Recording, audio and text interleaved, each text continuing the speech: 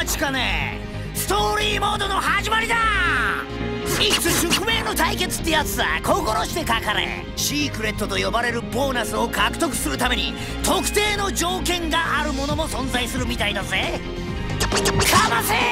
プレスウルトラ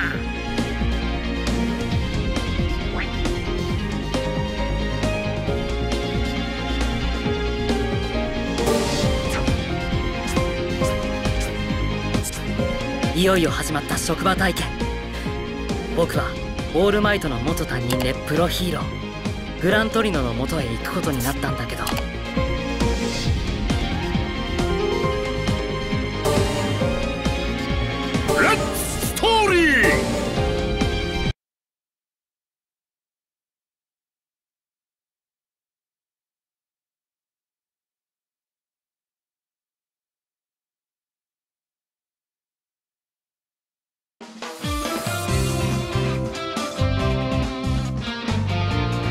雄英高校の一大イベント。雄英体育祭から数日。オールマイトの担任だったヒーロー。グラントリノから職場体験の指名をもらった。期待に胸を膨らませていた僕を待っていたのはオンボロの事務所。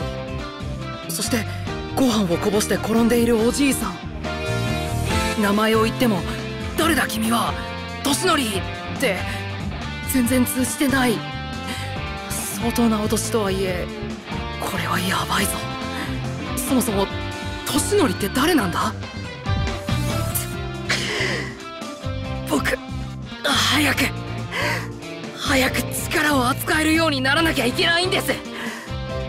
オールマイトにはもう時間が残されてないから。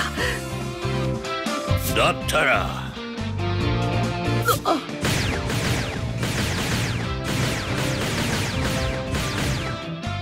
だったらなおさら撃ってこいや。受精卵小僧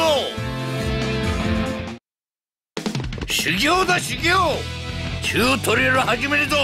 優勢卵小僧全ての攻撃方法を確認したら教えてくれ。力の使い方が点でなっとらん。あの正義バカオールマイトは教育に関しちゃ素人以下だな。俺見てらんねえから俺が見てやろうってんだ。さあ撃ってこいや。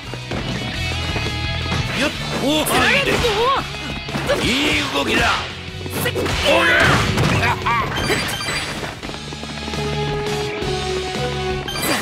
いいぞ。師匠が。かかってこい。やるね。この勢い。でおはいいいぞ。つなぐやるね。いい動きだ。不意打ちだ。おしゅ衝撃は。いい動きだ。撃つ。いいぞ。うんうわ。撃ち込む真上に。おお。まだだ。直接。やるね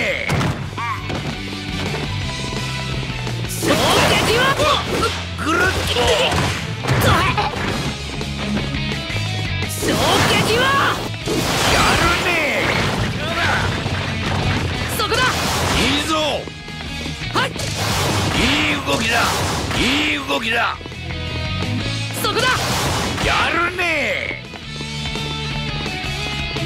そこだ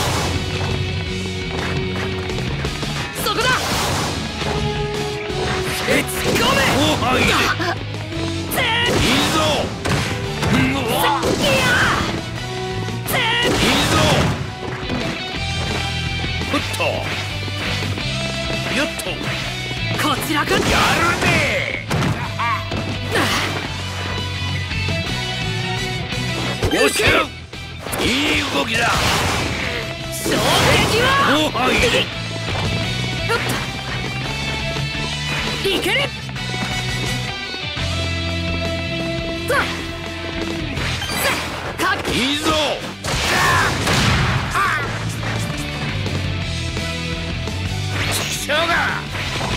師匠がこちらから何を企んでる？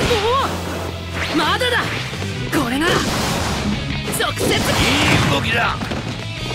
打ち込む。やるね。うわ。ふっと後半入れそこだ。いい動きだ。はい。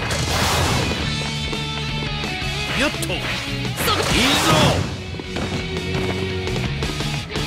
不意打ちだ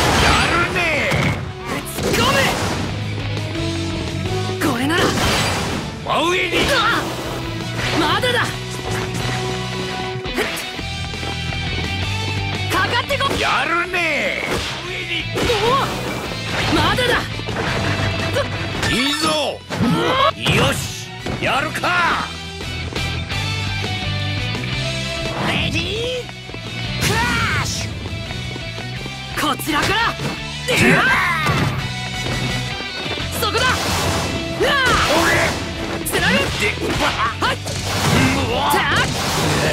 よっしゃじゃ馬が。不意打ちだうハグだ。ウィー